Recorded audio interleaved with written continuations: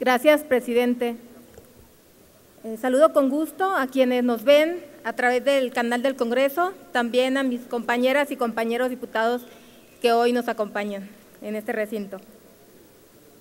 Angélica, de 12 años, y Marisol, de 10, son dos hermanas que hace unos días perdieron a su padre a consecuencia de la violencia que se vive en Acapulco Guerrero.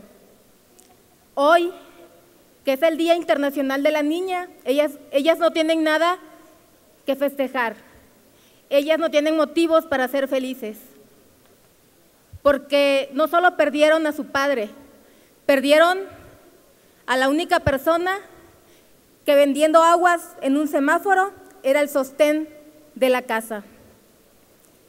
Y no solo en Guerrero, en todo México, niñas y niños tienen que padecer el desamparo, tienen que padecer la orfandad debido a la violencia que vivimos. El día de hoy, en este honorable recinto parlamentario, presento una iniciativa que ha marcado mi trayectoria en, la obra social, en mi vida profesional y política. Con esta iniciativa quiero hacer un llamado a la conciencia y a la reflexión para restablecer la paz y la seguridad en nuestro hermoso México. Es el momento de, restablecer el orden, sí, pero reconciliándonos para vivir en armonía, porque en, porque en nuestro país la ciudadanía reclama justicia social, empleo, bienestar, seguridad y paz. Es la hora de revertir la violencia en sus diversas manifestaciones y el clima de inseguridad en el que vivimos. Debemos hacer, hacerlo porque cada vez más niñas, niños, adolescentes y jóvenes sufren la muerte, la desaparición forzada o el secuestro de su padre o madre o de ambos en actos de violencia, el crimen organizado, el tráfico de drogas, la violencia política, el homicidio y el feminicidio. Esta situación coloca a las niñas, niños, adolescentes y jóvenes en una doble vulnerabilidad. Primero, el padecer a lo largo de su vida los efectos de ver morir a uno de sus progenitores o ambos, o el haberlos perdido de manera súbita, o a las personas que los cuidan, como pueden ser sus abuelos, tíos o personas cercanas. Y segundo, la tragedia de la soledad a lo largo de toda su vida, los estigmas, los efectos económicos y sociales de la orfandad. Pese a la grave problemática de la orfandad, actualmente existen pocos datos al respecto. Lo que sí sabemos, de acuerdo a los datos de la UNICEF de 2014, es que de 40 millones de niños, 20 millones viven en pobreza y carencias alimentarias que 4.7 millones padecen pobreza extrema, principalmente indígenas, que 6.1 millones entre 3 y 17 años no asisten a la escuela. Estos datos duros explican por qué los albergues están saturados, mientras que en las calles vemos cómo aumentan las poblaciones de niñas, niños, adolescentes y jóvenes, deambulando, buscando desesperadamente la manera de sobrevivir. Estimadas diputadas y diputados, es urgente resolver la situación de orfandad y de vulnerabilidad económica de las niñas, niños y adolescentes, a fin de evitar su doble victimización.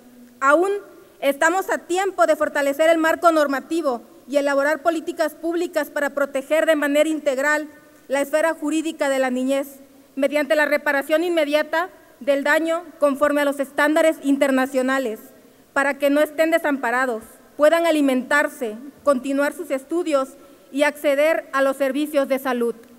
En este sentido, es necesario que los recursos, producto de la reparación del daño, se dirijan directamente a las niñas, niños y adolescentes, con el fin de que los adultos o personas que ejerzan su custodia o patria potestad puedan solventar sus necesidades.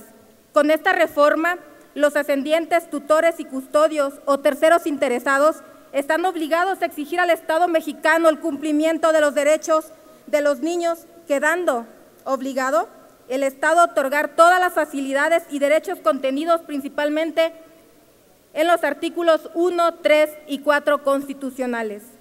Precisamente el artículo cuarto mandata lo siguiente. En todas las decisiones y actuaciones del Estado se velará y cumplirá con el principio de interés superior de la niñez, garantizando de manera plena sus derechos. Los niños y las niñas tienen derecho a la satisfacción de sus necesidades de alimentación, salud, educación y sano esparcimiento para su desarrollo integral.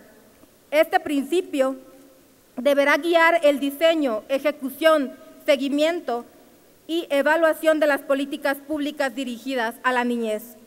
El artículo anterior busca la visión humanista de acción nacional en el sentido de garantizar el derecho a disfrutar de una familia, bienestar y una vida libre de violencia. Respecto a los tratados internacionales y el principio pro persona, se catalogan una serie de derechos especiales para proteger a la infancia de vulnerabilidades concretas, como es la reparación del daño de las víctimas directas e indirectas que no pueden valerse por sí mismas. En el mismo sentido, la jurisprudencia de la Corte Interamericana de Derechos Humanos respecto a la vulnerabilidad de los niños que pierden a sus padres en situaciones de violencia obligan a la familia y al Estado a protegerlos para evitar que sean marginados y estigmatizados. Es la hora de que el Poder Legislativo actualice el marco jurídico para incorporar la reparación del daño en materia de niñas, niños y adolescentes. Nuestras niñas, niños y adolescentes y jóvenes nos necesitan. Hagámoslo por ello, por ellos. Muchas gracias.